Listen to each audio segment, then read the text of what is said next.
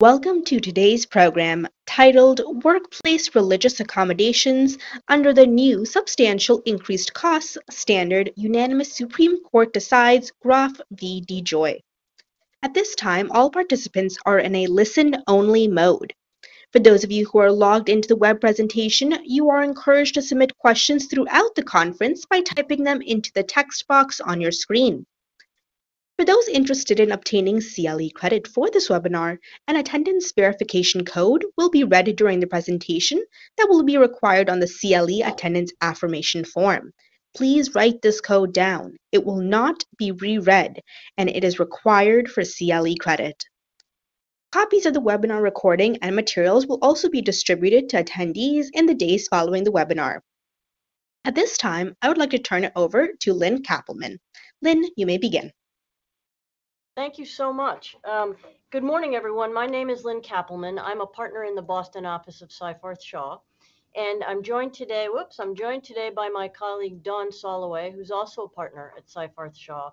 Um, I lead our firm's trial practice group, uh, as well as our retail and pharmaceutical industry practice group. Dawn leads uh, our trial and appellate practice group uh, along with me. Uh, and Dawn and I have actually been studying religious uh, discrimination and accommodation issues pretty much together for about 25 years. We are delighted to be joined today by our colleague from the Houston office, Darianne Harris, who has spent uh, the last year uh, getting us up to speed on the latest and greatest in the religious accommodation battle. Um, and so we are so grateful that he's joining us today. Um, without further ado, I wanted to go over what uh, our agenda was today. We're going to talk a little bit about the Groff v. DeJoy decision from the from the Supreme Court of the United States. Um, and I'm going to start with a little religious accommodation two minute primer just to set the table for us. We're going to talk about the precedent setting case TWA versus Hardison and how the de minimis test came about for employers to determine whether and when they had to grant a religious accommodation for an employee. Then we're going to get to the DeGroy v. the Groff v. DeJoy decision and talk about uh, what happened and what was argued. And then we're going to talk about what's changed and what hasn't changed as a result of Groff v. DeJoy. Finally, we're going to hopefully give you some key takeaways and practical guidance and talk a little bit about how we apply the new substantial costs test in our business. Before I go on, though, I wanted to say for those of you who have been reading articles uh, post Groff v. DeJoy, and listening to uh, media coverage, I'm sure you've read that there's been a seismic shift uh, in the way that employers are supposed to look at these issues, um, and that everything has changed. Um, in fact, what I would argue to you, uh, and I think Dawn would agree, that for those of us studying this for 20, 25 years, it really is a lot more nuanced than that.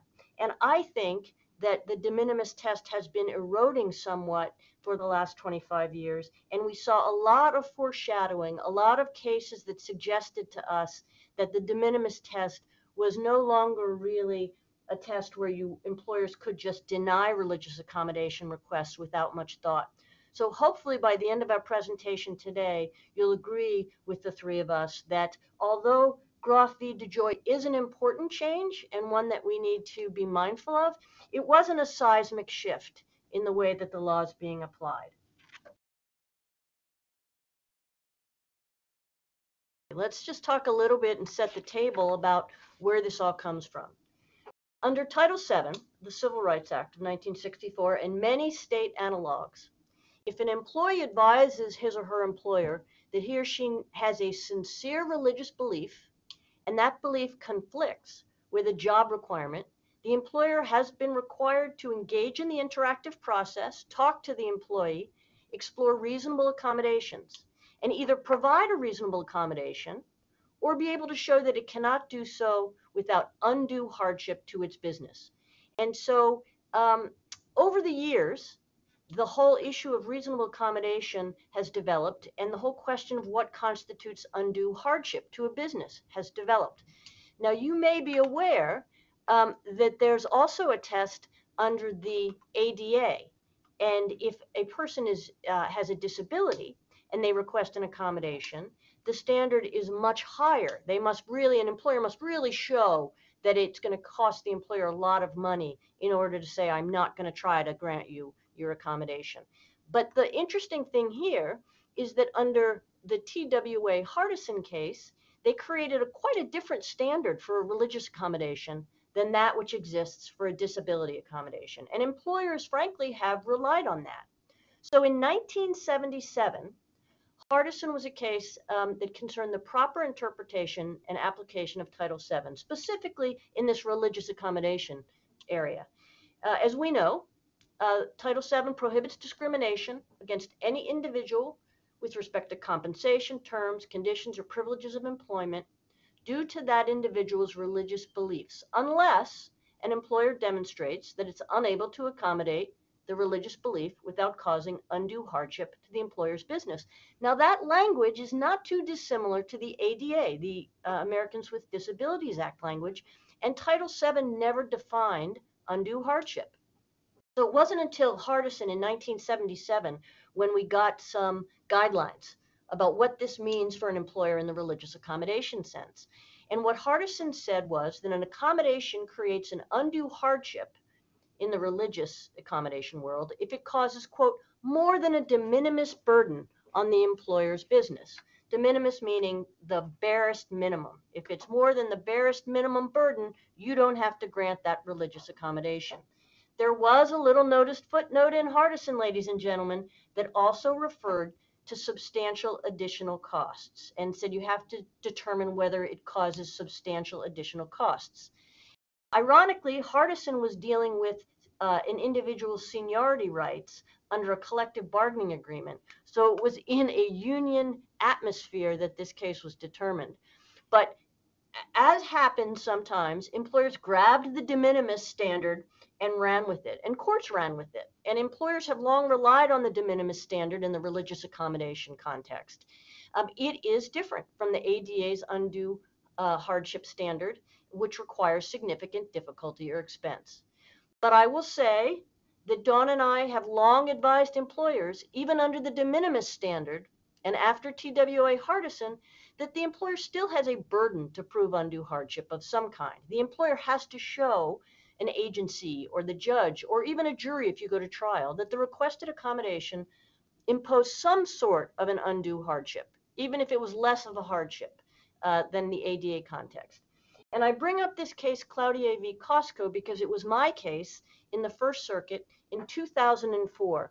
And it was the case that, that is oft cited prior to Groff v. DeJoy because it really did not require that the that the employer show a lot of costs in order to say, I'm denying your request for accommodation. So Kim Cloutier was a plaintiff, and she alleged that her employer, Costco Wholesale, failed to offer her reasonable accommodation when she said she had a conflict between the no facial jewelry provision of Costco's dress code and her religious practice as a member of something called the Church of Body Modification. Court held uh, that Costco had a legitimate interest in presenting a workforce to its customers that is, in Costco's eyes, reasonably professional in appearance. And Costco's dress code included in the handbook distributed to all employees furthered that interest. And so the court in the First Circuit in 2004 said it's axiomatic that for better or worse, employees reflect on their employers is particularly true of employees who regularly interact with customers, as Cloutier did in her cashier position. And even if Cloutier did not personally receive any complaints about her appearance, her facial jewelry influenced Costco's public image. In Costco's calculation, it detracted from its professionalism. So they, they said in the First Circuit, we hold that Costco has no duty to accommodate Cloutier because it could not do so without undue hardship. So that's a perfect example of the de minimis standard um, saying the employer really doesn't have to show much, doesn't even have to show one additional penny that it would spend to accommodate this employee in order to deny the request.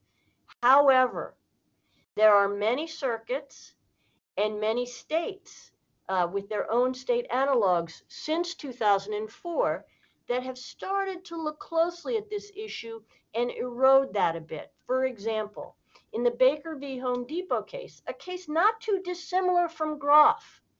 The employee's religious beliefs prohibited uh, him working on Sunday, and for nearly a year, his supervisors agreed not to schedule him until a new manager insisted that working on Sundays was mandatory. So a manager offered him part time employment and said, You can have Sundays off. But the employee declined because it would reduce his pay and disqualify him for benefits. Manager also offered him a later shift on Sundays so the employee could attend church in the mornings. Employee declined because he believed Sunday work was prohibited entirely, not just for part of the day. Manager allowed and offered the employee to switch shifts with coworkers, which the employee allegedly rejected. Now, this is a lot more already, right? Five, six years later, that Home Depot is trying to do to accommodate this employee. Um, the district court ruled that Home Depot's offer to work in the afternoons or evenings on Sunday was probably a reasonable accommodation. But the Second Circuit vacated the judgment and said the employer offered an accommodation for only one of the employee's two religious objections. And they said, we're going to remand this uh, on the issue of whether Home Depot's offer of part time employment uh, to exchange shifts is in fact a reasonable accommodation because the employee would still have to work on Sundays and he believed he shouldn't have to work at all. So you can see already in 2006, some circuits are questioning this de minimis standard and asking how far really does the employer have to go to try to accommodate? Maybe a little bit further than the First Circuit thought in Cloutier v. Costco. Um, again, in Mass Bay Transportation Authority in 2008, a little bit later, the court held under the Massachusetts statute Although there's no obligation to undertake an interactive process if the employer can conclusively show that all conceivable accommodations would impose an undue hardship, but this employer didn't show undue hardship because it didn't even attempt a good faith effort to accommodate the employee's Sabbath observance. Again, this puts the onus on the employer to try to accommodate the employee's Sabbath observance. And so there was emphasis on the conduct of the employer's business and the size of the business and the context of what this employee did for the business and how hard it would be to accommodate the employee's Sabbath observance. And so the Mass statute, Massachusetts has its own statute that offers four non exhaustive examples of what would be undue hardship if the employer was unable to provide services which were required by federal or state law, if the accommodation would unduly compromise public health or safety, and I want you to pay attention to that because that's a theme we're going to come back to later. If the employee's presence is indispensable, if you could show it was indispensable to the orderly transaction of the business, and frankly, how many retails can show that, that a cashier or frankly anybody that works there is indispensable? Or the employee's presence is needed to alleviate an emergency situation. I think you'll agree with me that that's a pretty high bar for undue hardship, much higher than we thought de minimis meant. And this is in 2008.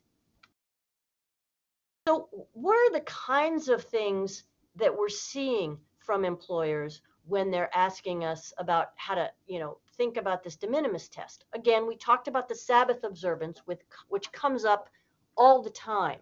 Um, how can we accommodate someone's request to be off every Saturday or every Sunday? For example, in a retail establishment, like a Costco or a Home Depot or an Aldi, for example, um, it would be hard, right, to have somebody off every Sunday since since weekends are sometimes the busiest retail days. Um, and quite frankly, in Baker v. Home Depot, they said that. They said, you have how many hundreds of people working at once? You can find someone to swap shifts with that person on Sundays. Uh, it wouldn't be too huge uh, of an expense. But I will say that Dawn and I had a trial in Pittsburgh for Aldi um, where uh, one of the uh, employees wanted every si- single Sunday off. And because context matters, Aldi only employed three people in the store on any one, at any one time in a sort of a small shop. And we could show that it really would have been a burden on the other employees, and we would have had to pay someone overtime. And the jury, at least, thought that was enough to constitute an undue hardship and found for Aldi in that instance. Whether a judge would have found for Aldi, for example, in the Second Circuit, or in some of these other circuits, I can't say for sure, but at least a jury was convinced. We often find um, employers asking us, what should I do about this particular employee who wants to take five prayer breaks and face east in the middle of the day? Um, and, and what we say is, and what we have always said and will probably still say is, what does the employee do? How will his or her absence affect the, the conduct of the business, the functioning of the business? Are you able to accommodate this employee without affecting the rest of the business? Um, for example, is that employee on a manufacturing line? If they walk out in the middle of the process to take prayer breaks, will that shut down the line? Will that affect the other five people on the line after him or her and affect their productivity? Then it might be a harder thing to accommodate. If the person is in a white collar job and he or she can just get up from his or her desk and go pray for 10 minutes, come back, finish his or her work, then the context matters. And maybe that would not be a substantial cost. Um, and then finally, we often see questions about religious dress in the workplace. Um, and sometimes this will um, either um, conflict with a dress code or it will conflict, conflict with some sort of um, a policy that people have about headdresses. Uh, and again, if it is a, a, a safety or a health issue, sometimes that will cause more than a de minimis cost, even prior to Groff uh, case and even after Groff. Um, but if in fact it is just to wear a white uniform for a year after baptism because their their religion of Santeria requires it, maybe you can accommodate them by making their uniform that they have to wear all the time white so that they can comply with your dress code and their own policy. I remember a case for one retailer where a woman wanted to wear a burqa, but the retailer had a dress code, their colors were blue and yellow. And this particular retailer went, aha, I can make a blue and yellow burqa, and this person can wear their burqa, but also still uh, comply with our dress code. So even before Groff, that was something that we suggested people do, and it's something we will continue to suggest people do in reaction to these requests that really aren't costly and aren't burdensome uh, to do. So I'm going to turn it over to my colleague Darien because I think what he'll tell you is that we have known that this was coming, this this Groff rewriting of the standard for a while. So why don't you tell us a little bit about that, Darien? Exactly. Um, if we take a look at some of the decisions from the Supreme Court, including the decision in which Hardison, including Hardison itself, if you look at the dissent from Justice Thurgood Marshall, he he wrote a pretty pointed dissent in which he derided the Hardison opinion and said uh, that it dealt a fatal blow to all efforts under Title VII to accommodate work requirements to religious practices. If we fast forward up to 2020, in a case uh, called Patterson v. Walgreens, we see that Justice Alito hinted that this decision was going to be over, they're going to be reconsidering it soon, but didn't appreciate the, the case that was before him to say that it was a proper vehicle to do so. Um, and in Small versus Memphis Light, we, we find Justice Gorsuch saying um, that the majority's refusal to hear another religious discrimination case that, that could have put Hardison on the chopping block um, or actually the exact quote is that it was past time for the court to correct Hardison, um, suggesting that Hardison was going to be overturned soon. And we also have another instance, um, and from, coming from the 11th Circuit, from a Florida District Court case, uh, in which uh, the employee disclosed his Friday to Saturday Sabbath observance after accepting the position. After disclosure, the offer for employment was rescinded the district court applying Hardison ruled in favor of the employer. And the employee argued that the employer could have shifted other uh, employees' work schedules and duties to accommodate his religious observance. Interestingly, he conceded that an accommodation would cause more of more than a de minimis cost, uh, and he moved for summary affirmance so that he could petition the uh, United States Supreme Court to overturn Hardison.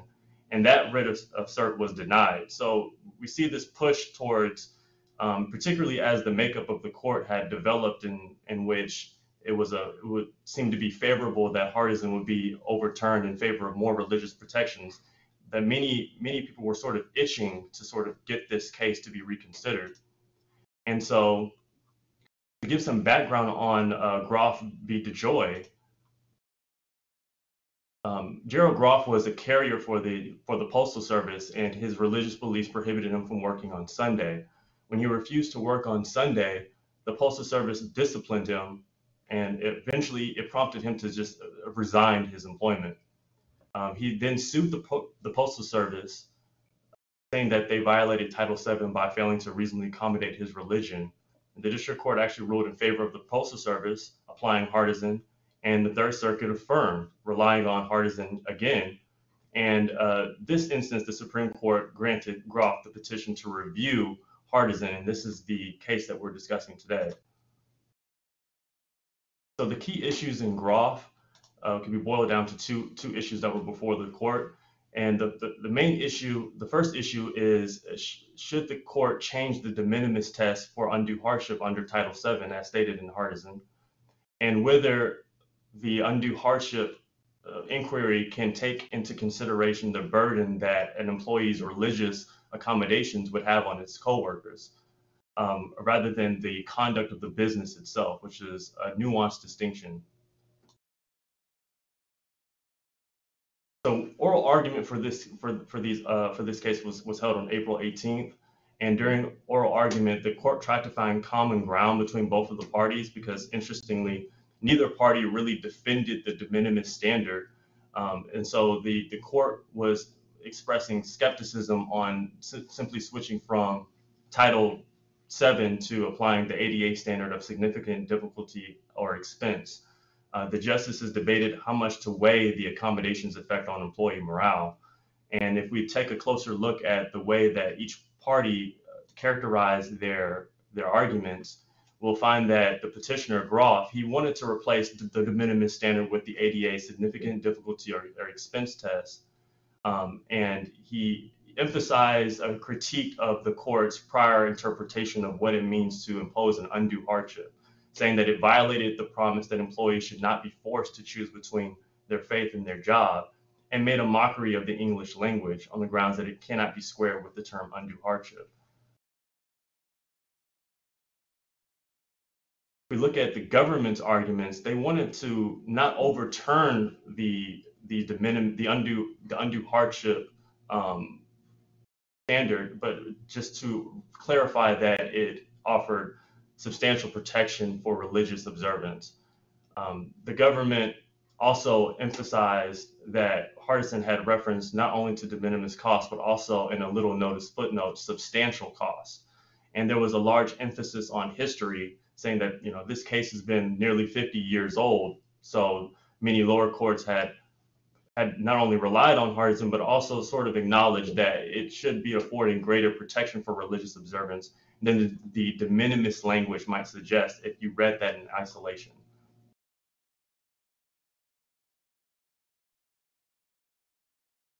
And now I'm going to turn it over to Dawn to get into the nuances of the opinion itself. Thank you, Darian.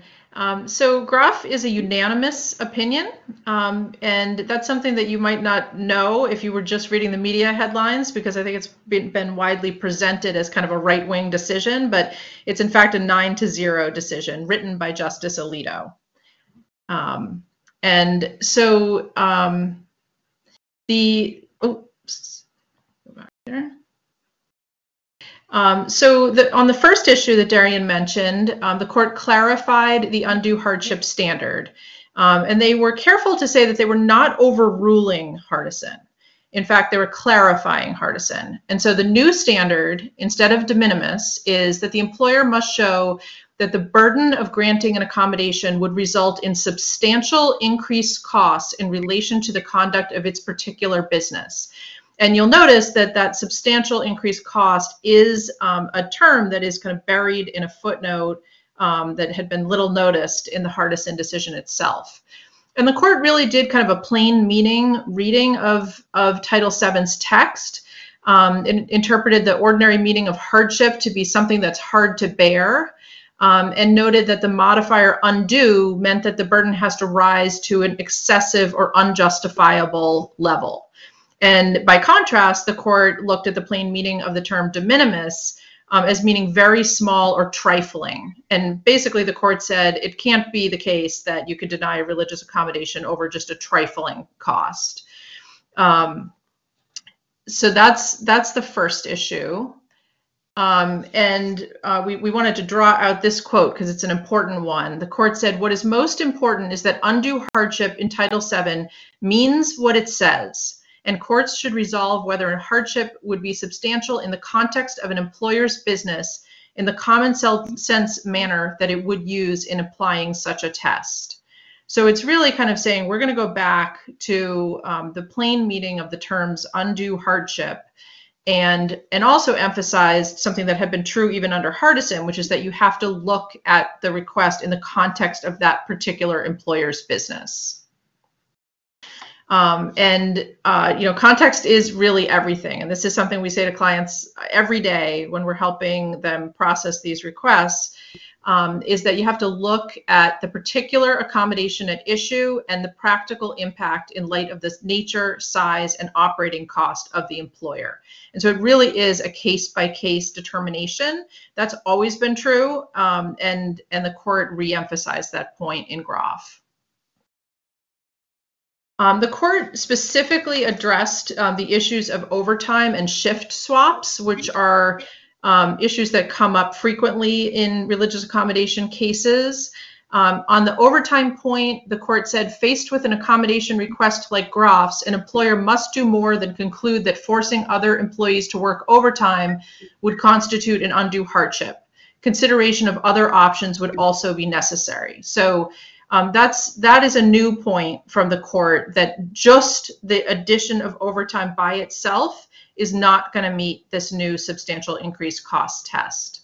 The court also specifically called out voluntary shift swapping as one option that is, quote, necessary to consider. And um, shift swaps are something that we have have frequently advised clients to consider um, because it often can resolve um, Sabbath observance and and other kinds of um, issues. And so the court was pointing us to the fact that that is going to be considered something something that is necessary for employers to consider. And then on the second issue, um, the court addressed this issue of impact on coworkers. And this is something that comes up again and again. And I think it's actually helpful that the court has given us some, some more specific guidance as to how to think about impact on coworkers. Um, so what the court said is that impacts on coworkers are relevant only to the extent that those impacts go on to affect the conduct of the business. So, um, and, and, went on to say that you have to analyze a further logical step so not just that there is some impact to coworkers, but that impact in turn affects the conduct of the business. Um, there was a, although it was a unanimous decision, there was a concurrence by Sotomayor and Jackson. Um, and they were, you know, agreed with the result, but were noting that in addition, some hardships such as the labor costs of coordinating voluntary shift swaps are not undue because they are too insubstantial.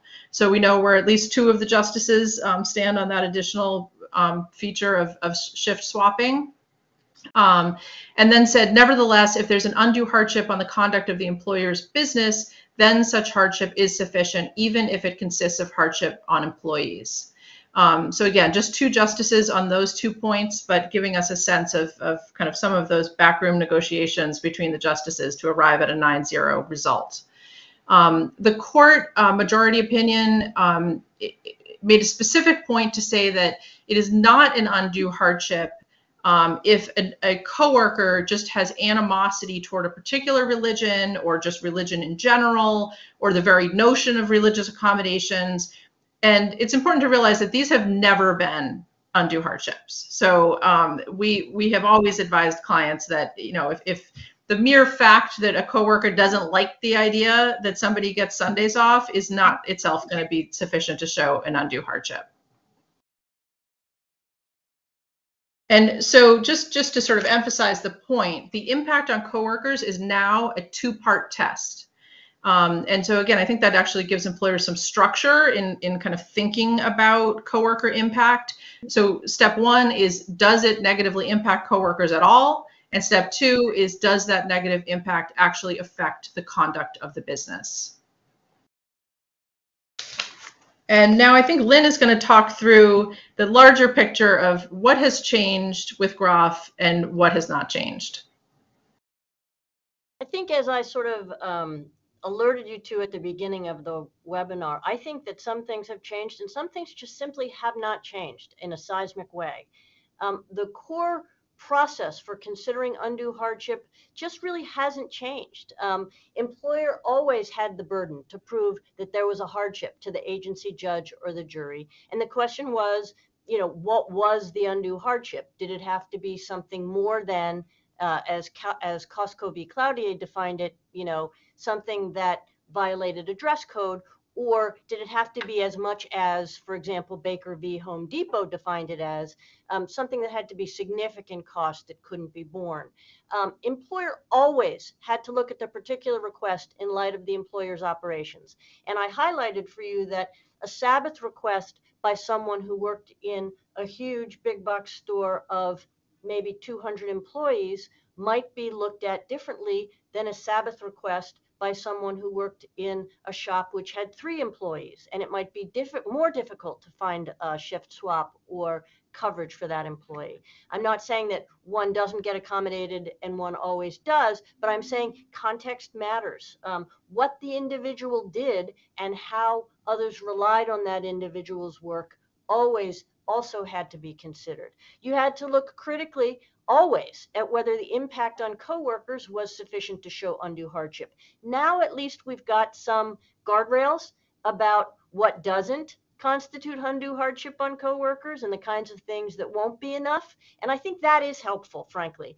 Um, Dawn didn't say this, but we always wondered in the case of shift swaps, does the employer say to the employee, yeah, sure, you can shift, you can swap shifts, but it's your job to figure out who you're going to swap with? Or is it the employer's job to figure out how to make that shift swap happen? And where does that sort of line get drawn? And I think Groff helped us draw that line that the employer has an obligation to get involved um, and facilitate the swap.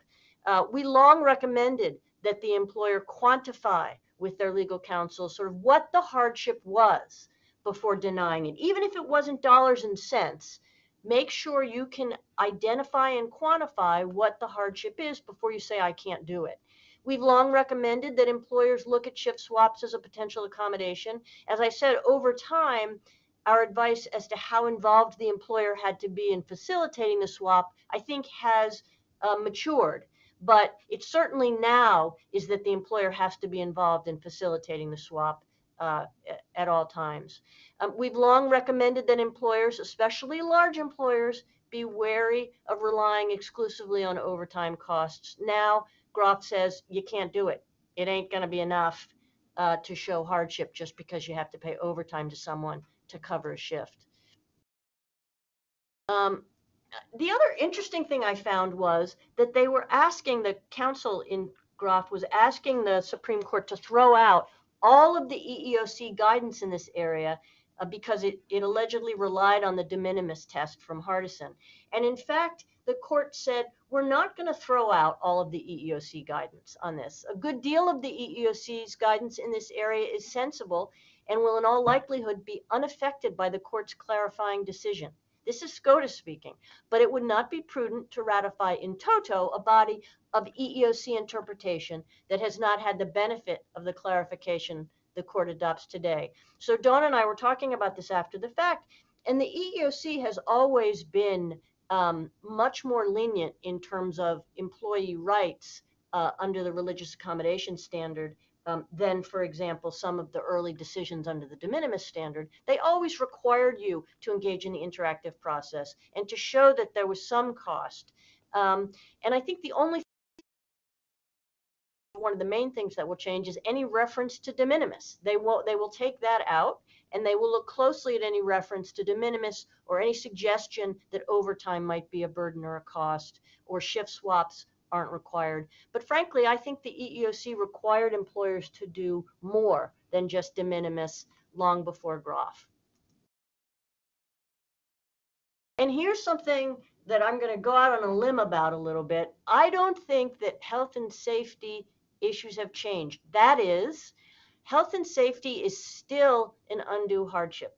The Groff decision was notably silent. It didn't speak on it, but uh, it didn't speak on health and safety and whether health and safety impacts can be an undue hardship. But I believe, and I think Dawn believes, and I think Darianne believes, that the court left in place the long-standing body of law and EEOC guidance that says that health and safety impacts can be an undue hardship. So you don't have to show dollars and cents. Um, impacts on health and safety of coworkers, patients, clients, customers, the public will often be an undue hardship if quantifiable and provable. And where this has a significant effect is on all these cases we're seeing about reasonable uh, religious accommodation in the hospital mandatory vaccine uh, policy cases. And the, for example, if somebody wants to take um, a break to pray, but they're on a manufacturing line, which will shut down or someone else's productivity or someone else's job will literally have to stop completely as a result of that person taking a break. And it may create a health and safety issue then you may actually say it's an undue hardship and you don't have to make it. Um, i think an obvious example but um, believe it or not we've had this question. Somebody who wanted to burn incense in connection with their religious beliefs in a room that had combustible materials, lithium ion batteries and the like, um, you can say no, we don't have to accommodate your religious request to burn incense in a room with combustibles. Um, the EEOC has come out strongly uh, with respect to health and safety issues that it can be an undue hardship in certain circumstances. And I would suggest this to you. It has always been the case, even in the disability standpoint, in the disability context, that if someone requests um, a, an accommodation for their mental disability, but there is a belief that they could be a danger to themselves or others in the workplace, you have never had to grant that accommodation. So think about that in the context of this. It has always been a substantial cost, even in the ADA context, uh, if someone would pose a health and safety risk to others, and you've never had to grant that accommodation. So even though SCOTUS was silent, uh, I think you're still good on the health and safety issue, uh, refusing to accommodate. What has changed also? There's no question in anyone's mind that SCOTUS is signaling a new deference to religious rights. No one is surprised given the makeup of the court, but some courts had been leaning this way anyway, and now the Supreme Court has weighed in clearly. Groff signals that the Supreme Court will be rigorous in scrutinizing undue hardship defenses um, and will be deferential to religious requests for accommodation. Uh, it will be harder to rely on coworker impacts unless you can show that it actually affects business operations or the conduct of the business, as they said. It's even more important now to make thoughtful, considered decisions about undue hardship and um, lay out what that hardship is if you're going to deny a request and work with counsel uh, with specific expertise in this area. Um, I also would suggest that you need to really think about what jurisdiction you're in um, because there are some states that have um, uh, more that scrutinize more and have laws that actually deal with uh, uh religious accommodation that is that are more careful, for example, than Title VII. The practical effects also that you're going to see more accommodation requests and more litigation. I'm sorry to say it. I hate to be the bearer of bad news, but this is going to embolden the plaintiff's bar, and they're going to throw Groff in your face uh, at every chance. I've already gotten it thrown in my face a couple times. It will increase the trend toward religious requests for accommodation from vaccine requirements. People will try to take Groff and have it apply to health and safety and suggest that SCOTUS's silence on this somehow means, you know, they've blown up uh, uh, 50 years of health and safety litigation. They have not. It will increase the trend toward religious requests for accommodation regarding LGBTQ plus trainings, and I'm going to talk a little bit more about that in a moment. Um, but many of us have gotten requests from religious employees to uh, waive or opt out of diversity training sessions that have LGBTQ content in them because they say they don't believe in it and don't want to participate. It may also increase the trend toward religious requests for accommodation regarding religious speech that may be offensive toward protected categories. And once again, this is the intersectionality between religious rights in the workplace and LGBTQ rights in the workplace and other uh, protected classes in the workplace. We're seeing more and more and more litigation about folks who are religious who say, I want to say negative things about LGBTQ people out loud in the workplace, even though it may offend them, and employers saying, you know, what are we supposed to do here? How do we accommodate this religious free speech, but also make sure that our LGBTQ employees can come to the workplace uh, and bring their full selves? So I think we're going to see more and more of that um, intersectionality between religious free speech in the workplace uh, and, and requests for accommodation in that regard, as well as uh, LGBT rights. Uh, Dawn, you want to tell us a little bit about how this might affect pending litigation? Is it going to be retroactive or prospective?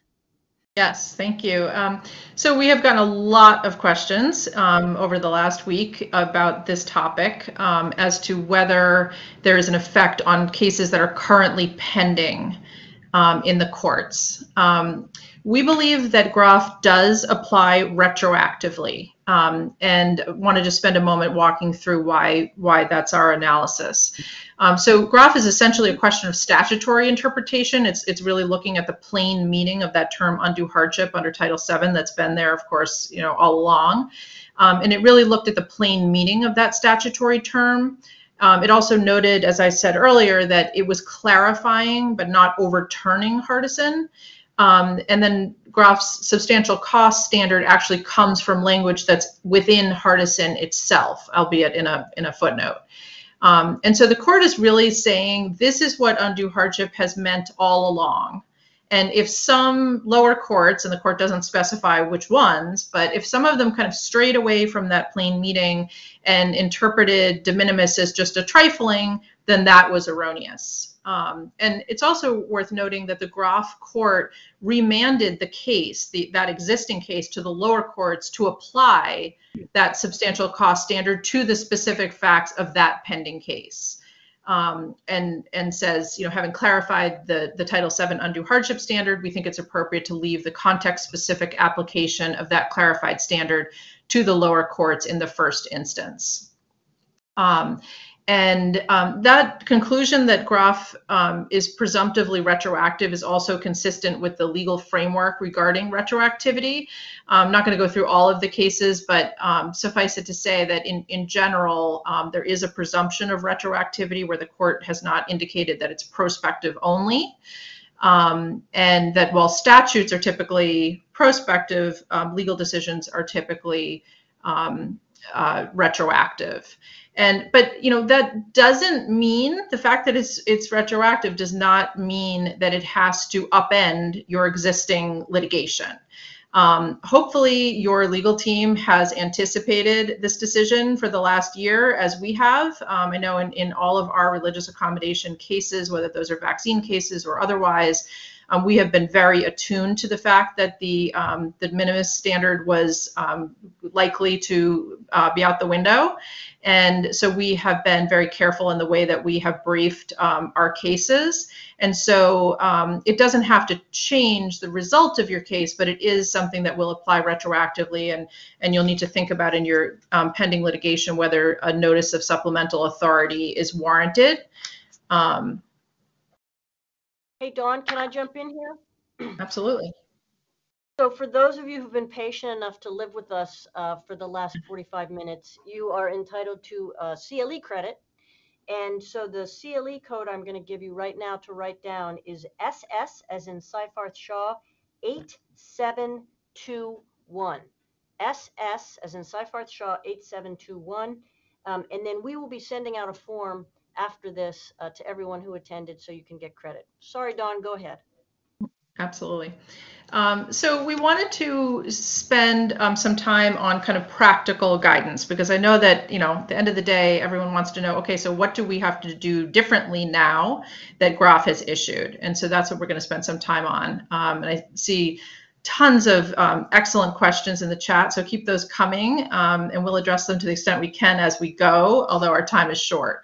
Um, the first key takeaway is training. So employers should be immediately training um, any employee who reviews religious accommodations on how to apply this, this new standard. So that's in-house counsel, um, human resources, uh, business partners who may be intersecting with these requests, um, supervisors to the extent that, that they are fielding requests. Um, this is the kind of training that we provide um, all the time to clients, um, and we recommend that, that that people do that immediately because the standard has has obviously shifted um, considerably.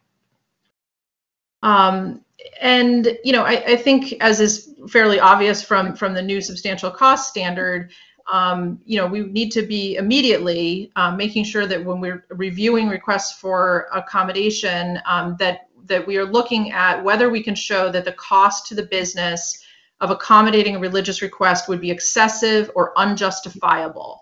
And if we're relying on impact on other employees, then we want um, to be showing um, how that uh, impact on employees is actually going to affect the conduct of the business and always with the sort of frame of reference that the size and resources of the business matters.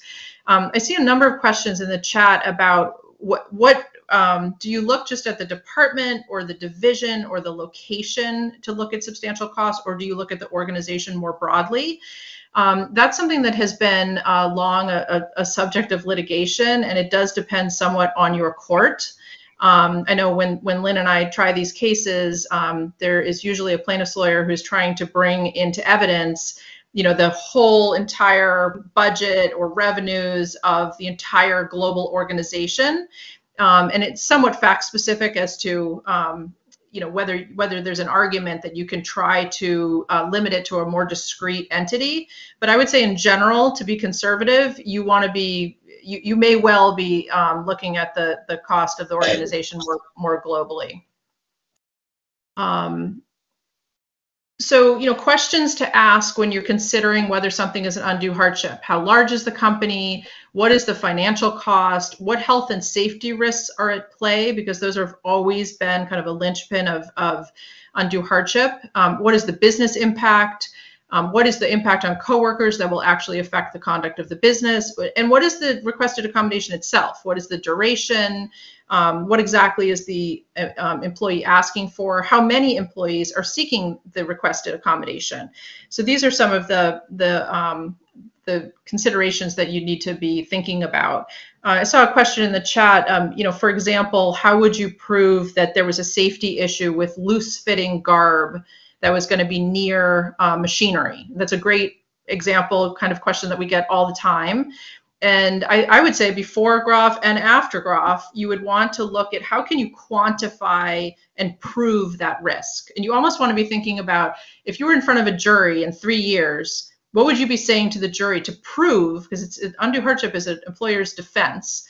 Um, and so you might be looking at, you know, what does the the manager of that um, of that part of the um, the business say about why, you know, maybe there's experience um, at the company with issues. Maybe there have been injuries, and so you want to look at how many of them and and what did that look like. You might look at are there regulations, OSHA regulations or other regulations that require um, no loose fitting attire? Is there manufacturer guide um, for the particular piece of equipment that says you have to be wary of loose fitting clothing? Um, and, and so trying to kind of pull that together right up front to, to look at what is the what is the evidence that that is an undue hardship in the context of the business. And Dawn, let me just jump in there because that question about the loose fitting clothing really lends itself to the first issue, which is you really need to engage in the interactive process. Um, Dawn's about to talk about sort of some of the questions that we give to employers to use during the interactive process, but when before you ever make any decision that something is or is not an undue hardship, you need to engage in the interactive process. That has always been the case. And by that, I mean you need to talk to the person who's requesting the accommodation to get a sense of is there an easy fix to this? Is there a way to accommodate this person with loose fitting clothing in a way that would still maintain the rules and regulations and OSHA safety standards? Can they work on a different machine that isn't impacted by the loose fitting clothing issue? Can they wear clothing that is not quite as loose fitting, but comply with their own religious garb requirements.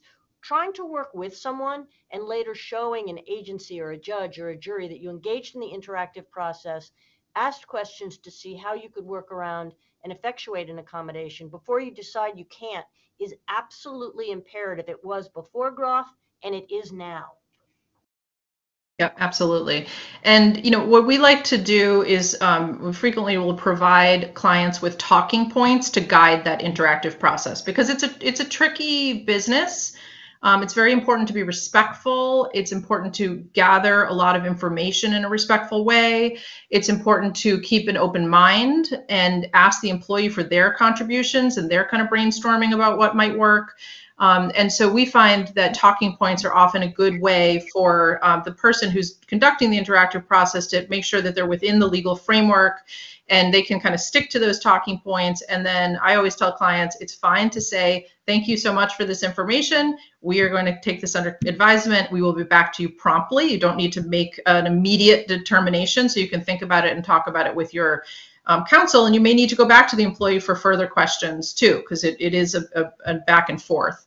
Um, we also can help you customize a religious accommodation request form. Um, I know a lot of clients like to, um, while you can't require the request to be in writing, because um, any request, even if it's informal, verbal, has to, that's a request and you have to engage in the interactive process. But some clients like to use the accommodation request form because it, it um, sort of requires the employee to document um, some specifics right up front. Um, I know in the COVID vaccine space, a lot of employers um, used these written request forms and are now kind of adapting them to a more general um, religious accommodation framework. And so this is just a sample of um, actually a recent set of talking points that um, that we sent to a client around a Sabbath observance. Um, and you know, I won't I won't go through it all, but you know, basically just saying we we understand that this is the nature of your request. We're committed to providing reasonable accommodations for sincere religious beliefs if we can without undue hardship. I need a little more information. Can you tell me more about your religious observance, about what it is that you're actually asking for, um, and and then taking it from there based on on what the employee says. Um, you know, likely examples of undue hardship. So a lot of questions in the chat around what does substantial costs actually mean under Groff, um, and what does it mean um, that you know coworker impacts affect the conduct of the business. Um, obviously, we're going to need to see if the EEOC issues um, new guidance and, and see how the case law develops. But in our judgment, based on experience, we believe that um, health and safety impacts absolutely will continue to be substantial costs. Um, the court does not want to be in the position of putting um, people's health and safety at risk, whether that's coworkers, patients, clients, vendors, um, the public, um, and so that is going to going to remain certainly um, an undue hardship in our judgment. Um, we do not believe that um, courts will require the hiring of a new employee to do the job of the person requesting the accommodation. That has always been kind of a bridge too far in the accommodation space, and we think it um, will continue to be. Um, one question that's come up in the last week is um, Do you have to pay an employee not to work? Um, so, can you require employees, if they've used up their their paid time off and their vacation time, do you have to pay them for times that they're not at work, maybe observing a religious holiday. Our judgment is that courts are unlikely to require that under this new substantial costs um, standard. Also, permitting an employee to be disrespectful or discriminatory toward others in the workplace. Um, you know, we are seeing the divisions from society in general come more and more into the workplace. Um, and so there can be sort of tricky aspects of of helping people to um, get along when they have various viewpoints, but we do not believe that um, an employer will be required to sort of put up with someone who is being discriminatory or disrespectful to to colleagues, uh, regardless of religious beliefs. And then I think Lynn is just going to walk through some some real life scenarios in our final moments. Yeah, I also wanted to say that um, what you have not heard us talk about is that first part of the Title VII test. You know, you have to, an employee has to show they have a sincere religious belief before you get to that undue hardship test. Um, and the reason that we haven't covered that is that nobody will.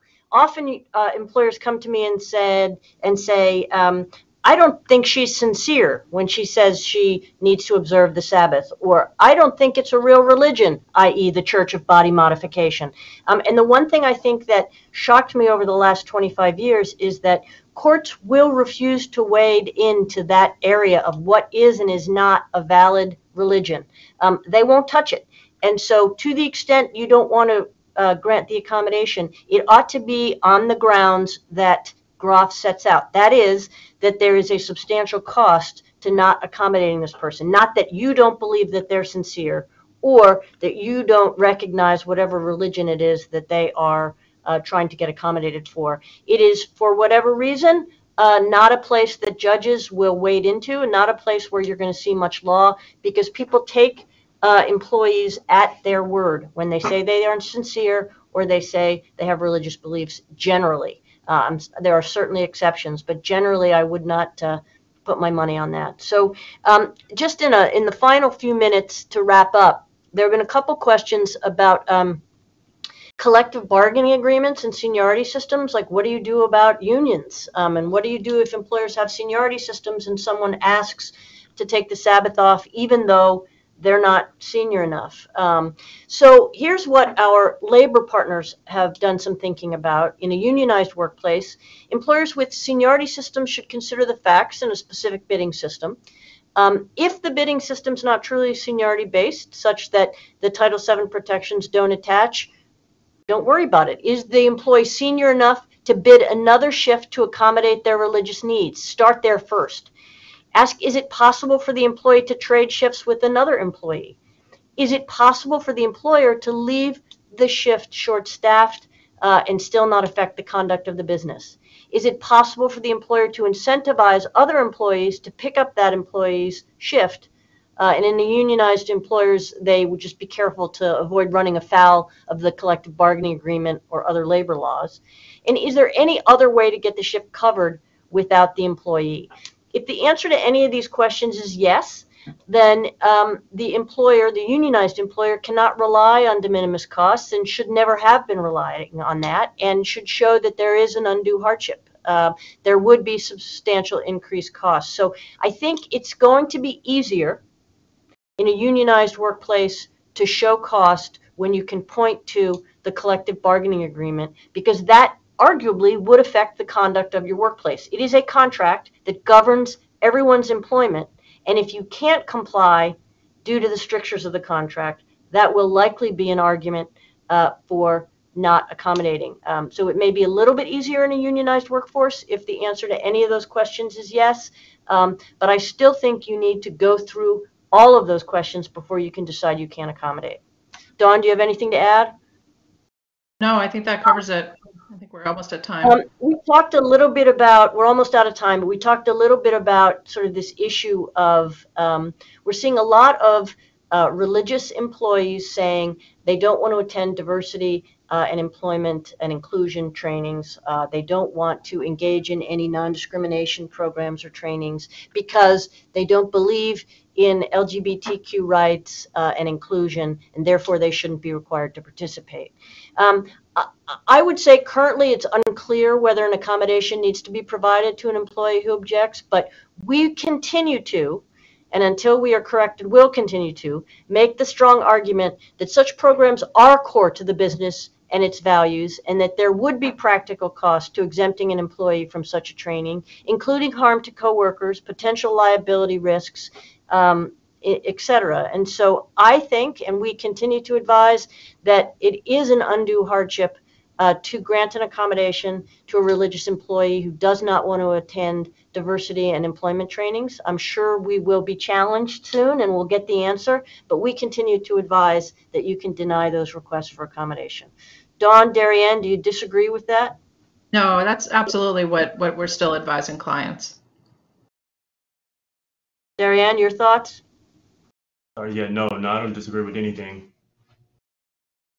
All right, good. So um, with that said, I just want to add one more caveat that I said at the beginning, and I'm going to remind you at the end. We've been talking mostly about Title VII. We threw in a couple of local jurisdictions, but I think you need to be aware that many states and some localities have specialized statutes regarding religious accommodation, many of which have always been um, more strict with respect to employers being able to claim undue hardship and requiring employers to grant religious accommodations more often.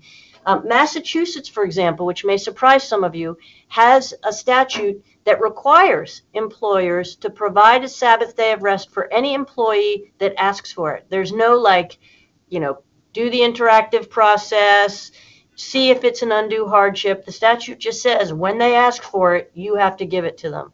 Uh, California also has a unique state law regarding undue hardship, um, which is a little bit more strict. So there are many other state statutes. And for those of you who would like uh, a list of those, we're gathering them, we have them. Um, but just know where you are, pay attention to your jurisdiction. As I set out in the, at the beginning, the First Circuit always had a much more um, loose de minimis standard for employers than the Second Circuit and the Eleventh Circuit. So be aware of where you are um, as well. With that said, I think we are at our time and we're very grateful for everyone uh, who attended. If you have questions, we're going to try to get back to the folks that ask questions in the chat individually. But here is our contact information for those of you who have questions. And I think we're going to hand out the PowerPoint and you will also be able to watch a video of this if you didn't get to see it the first time. Make Christina? sense? Thank you. This concludes today's webinar. Thank you for attending.